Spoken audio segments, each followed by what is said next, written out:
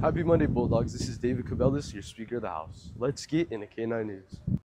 La la yeah. la la, wait till I get my money right. I had a dream I could buy my way to heaven. When I awoke, I spent that on a necklace. I told God I'll be back in a second. Man, it's so hard not to act reckless.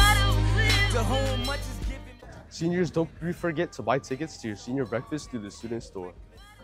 Disneyland California Adventure senior trip tickets are on the student store now. Make sure you get your tickets before they sell out. Prom guest passes must be turned in before April 19. Scan the following QR code for information regarding Ayala's GSA Club.